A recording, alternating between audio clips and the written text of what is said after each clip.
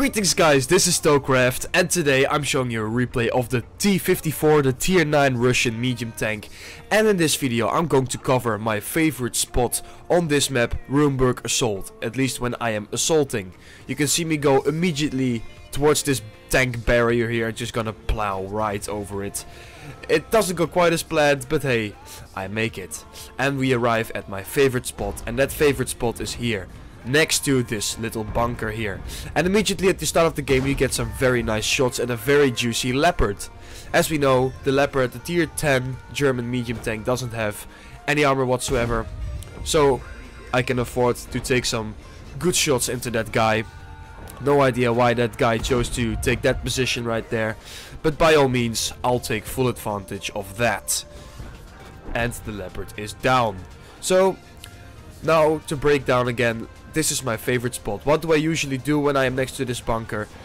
Uh, and you will see me do that in a few seconds. I'm gonna push down this tree, as we can see right here. Why did I push down this tree? If you look from the front, from this bunker, you can see that this tree has fallen down precisely next to the bunker. So when I peek around the bunker, I've got uh, concealment. Because the trees and the, the leaves of the fallen tree counts as bushes as well. So when I push down a tree, and I peek like this, I've got myself concealed. Yeah, of course, when I fire, I have to pull back quickly, because that means that I get spotted, as you can see. But if you use that well, then this position can be really, really strong. As you can see that E75 managed to spot me there. I tried to put a shot into his hull, but of course, it did not go well.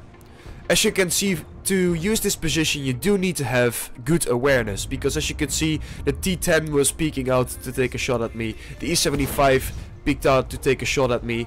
You have to have good awareness. And you have to keep looking at your map at all times. Especially looking at these, uh, this zone here. To look if to see if there's any enemy tanks peeking out to try and take a shot at you. That is really important when you take this position. But if you do it right, then this position will be one of the best uh, ever. And that's why this is probably my favorite spot uh, on any map in World of Tanks. So as we can see, my platoon mates um, are getting yeah attacked by an, uh, by an ST1. I hope they can handle him. I put a shot into his side armor there, but it doesn't look very good at all as we can see. But I think I can't leave this flank alone as either.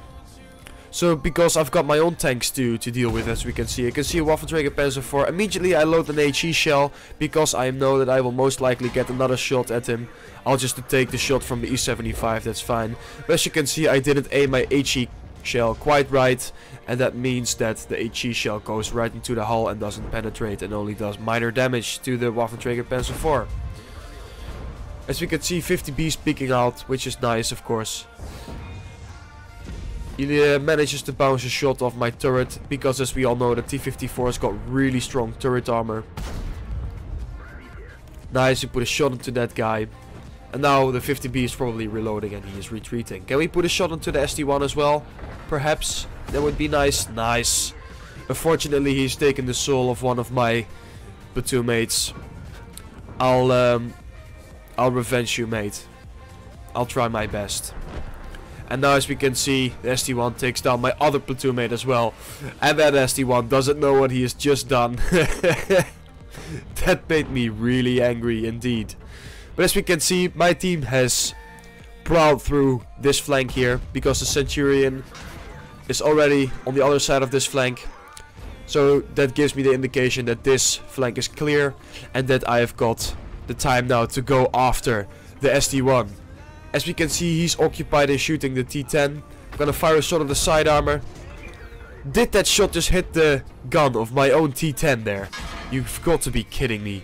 And of course, he decides to shoot me and not the T-10. But oh well, I've I've got to take some damage as well, I guess. So I'm reloaded again. I'm gonna put a shot right through here. Of course, I've loaded some heat shells for this, because as we know, the T-54 doesn't have the best standard penetration. But when you dap your 2 key, that penetration goes up to 330.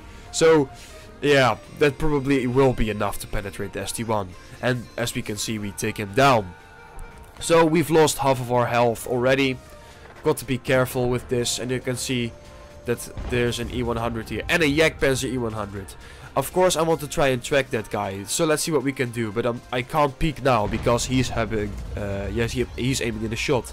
But immediately as he has fired, I'll track him in place. And as we can see, he probably doesn't have a repair kit anymore. So I aim another shot right through his drive wheel. And oh my god, we penetrate and we set him on fire. That poor guy.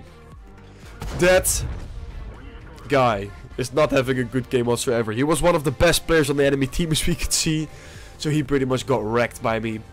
Pretty lucky that I uh, set him on fire, but hey, sometimes you need to have a little bit of luck in this game, right? So I spot the E100, I peek, he spots me. I uh, go out of the way and I try to put a shot onto his lower plate. Of course that doesn't penetrate because I'm shooting down at his lower plate. Can we take down this VK? Yes we can. And as we can see this game is already looking like a very good one indeed. So just uh, peeking here to see if he can spot the T10. Not sure where he's going to peek out. My best guess is that he's going to peek out from one of these corners, of course.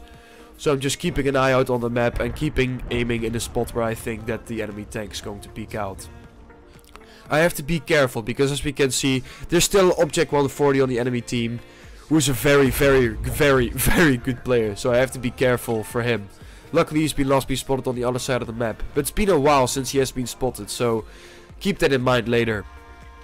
T10, I tried to, yeah, I couldn't really put a shot into him as he was just peeking out at the moment that I had fired. So now I see that the T-tank goes towards the middle of that, yeah, passage right there. No idea where he's gonna peek out now. My best guess is going to be near the Yak Jagdpanzer 100, but then I think, no, maybe that's too obvious. I think he might come around this corner. So I decide, hey, if he's going to come around this corner, I can probably not penetrate him with my standard rounds. So at one moment I decide to reload to heat rounds as I see the SD of the ST1 the T10 right there so I reload but exactly as I do that he peeks around the corner so that's not a good engagement for me because this tank doesn't have the most gun depression ever. I can't really yeah do that much damage to that guy when he side scrapes that well. But then I put a shot into his side and then I look at my map and look at what tank is behind me everyone Look at this, the Object 140, the Unicorn player on the enemy team.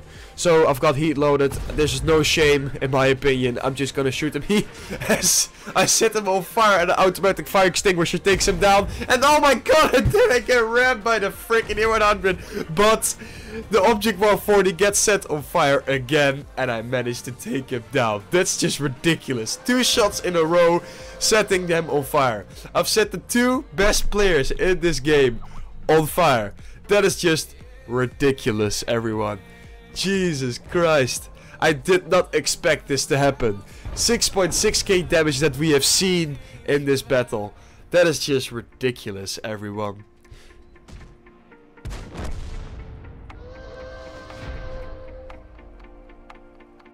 So guys, I really hope you enjoyed that battle. Jesus Christ, what an action-packed game.